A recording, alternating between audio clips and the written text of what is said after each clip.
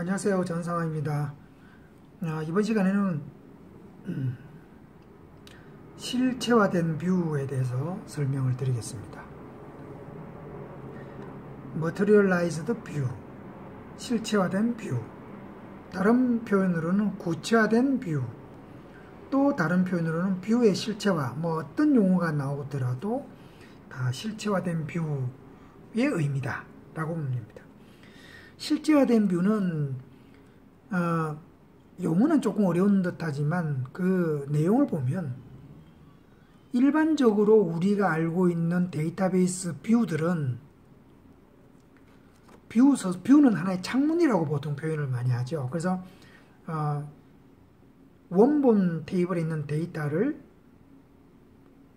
어떤 규약에 맞게끔 보여주는 하나의 창문으로서 역할을 하기 때문에 원래 view는 자기 데이터를 가지고 있지 않습니다. 그런데 실체화된 view는 view임에도 불구하고 데이터를 보관하고 있다는 거죠. 왜 그러면 데이터를 보관하냐면 실체화된 view 그, 그 자체의 데이터를 데이터 테이블을 가지고 있기 때문에 그 view 자체에서 데이터 테이블을 갖고 있기 때문에 조회 속도가 향상되는 효과가 있습니다. 물론 조회 속도뿐만 아니라 뿐만 아니라 어, 뭐 여러 가지 view가 데이터를 자체적으로 보관하고 있으면서 그 물리적 데이터 원본 테이블의 부하를 상당히 줄일 수가 있죠. 뭐 그런 여러 가지 장점들이 있습니다. 실체화된 view에 대한 개념, 실체화는 데이터를 보관하고 있는 view라고 했어요. 이게 아주 중요한 정의예요. 그런데 개념도를 보면 좀 더 이해가 명확해질 것 같습니다. 원본 테이블이 대략 한 10만 건 정도 있다고 하면 그냥 일반적인 view 같은 경우는 A, A 클라이언트가 요청을 하거나 이 view에 요청을 하거나 B 클라이언트가 요청하거나 C 클라이언트가 요청을 하더라도 요 부분, 요 부분이 없고 원본으로부터 계속 데이터를 가지고 오죠. 그래서 A가 요청하면 A가 가지고 와서 보여주고 난 다음에 지우고 B가 요청하면 이게 또 B가 요청하게 돼서 가지고 지우고 C가 요청하면 C가 요청하게 돼서 가지고 오면 지웁니다. 그런데 지금 보고 계시는 이 실체화된 뷰는 원본 테이블로부터 약속된 즉 규약에 맞는 조건에 맞는 데이터를 천 건을 가지고 온다고 하면 이 천 건을 실체화된 view 내부에 저장을 합니다. 그러니까 저장 기능이 있습니다. 그래서 언제 저장을 하냐면 최초에 최초에 A라는 클라이언트로부터 데이터 요청이 들어오면 원본으로부터 데이터를 A 클라이언트로부터 요청한 데이터를 받아서 첫 번째 저장을 하고 B, C 클라이언트가 요청을 할 때는 이 실체화된 view에서만 데이터를 보여줍니다. 제공을 하게 되죠. 그렇기 때문에 원본 테이블 액세스는 최초에 한 번만 일어나게 되는 이게 바로 실체화된 view가 되겠습니다.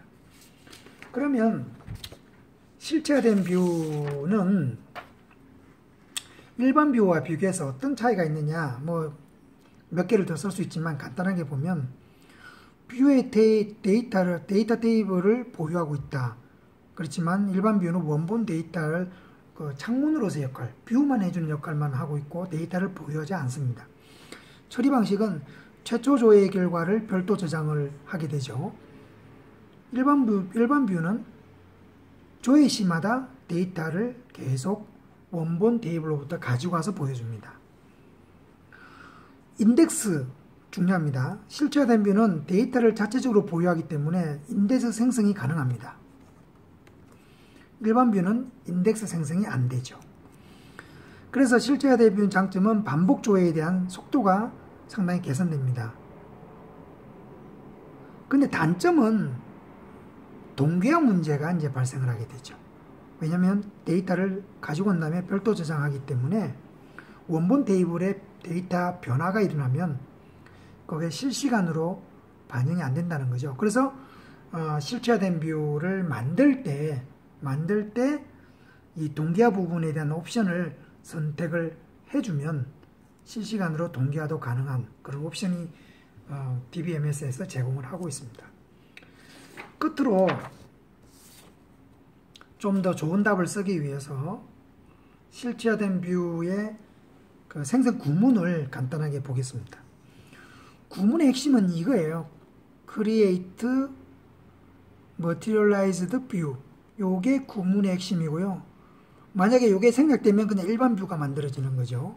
그 다음에 뷰의 명이고, 그 다음에 그 사용자에게 보여줄, 보여줄 속성의 이름을 여기다가 나열을 합니다. 그러면 이 속성이 이렇게 매핑이 됩니다. 순서대로. 만약에 속성을 쓰지 않으면 여기서 select된 이 속성이 그대로 제공이 되겠죠. view의 목적은 숨김의 목적이 있고 보안의 기능이 있기 때문에 이렇게 실제 물리적인 view를 가사, 그 물리적인 속성명을 가상의 속성명으로 별칭으로 정해서 보여줄 수가 있죠. 개수가 정확히 맞아야 됩니다. 그럼 순서대로 정의되죠. 그 다음에 여기부터 여기까지가 이제 옵션입니다. 옵션. 써도 되고 안 써도 되는 거죠. 그 다음에 이 부분이 이제 어떤 질의를 해서 데이터를 가지고 올 거냐는 SQL 문장입니다. as 이후에. 그래서 여러분들이 답, 답안지를 쓸 때는 이 부분 구문이 중요하고 그 다음에 이 부분도 샘플로 써주면 되고 옵션 부분도 조금 명시를 해주고 이렇게 표로 달아주면 조금 더 좋은 답이 되지 않을까 하는 생각을 해봅니다. 옵션 간단하게 설명해 볼게요.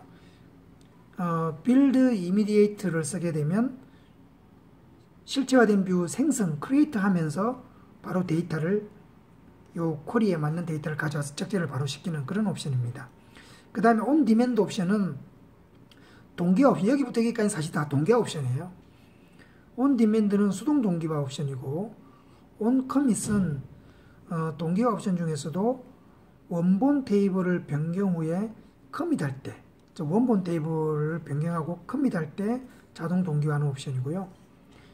그 다음에 이제 complete 옵션은 refresh 옵션인데 실체화된 view 전체를 갱신하겠다는 거고 fast는 원본 테이블의 신규 데이터만 실체화된 view에다가 갱신을 시키겠다는 거고 force는 force는 fast를 우선 처리하되 그게 불가능할 때는 complete 옵션으로 실행하라는 뜻입니다.